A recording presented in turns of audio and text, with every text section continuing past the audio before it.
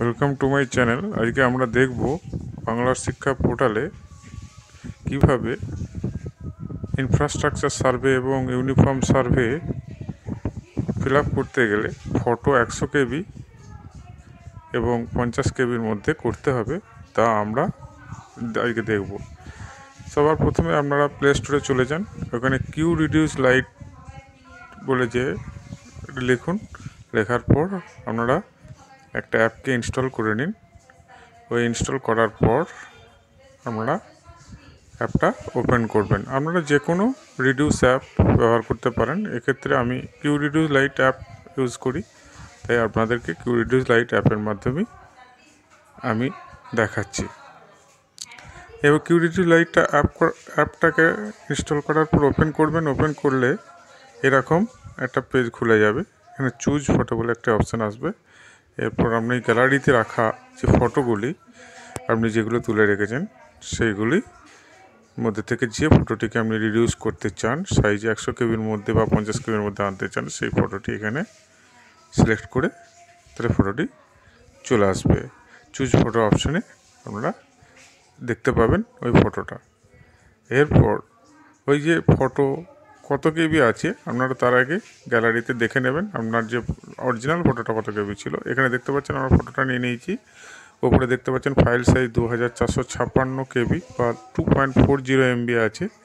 এটাকে আমরা ইনফ্রাস্ট্রাকচারের ক্ষেত্রে একশো কেবির মধ্যে করতে হবে আর ইউনিফর্মের সার্ভেতে পঞ্চাশ কেবির মধ্যে করতে হবে।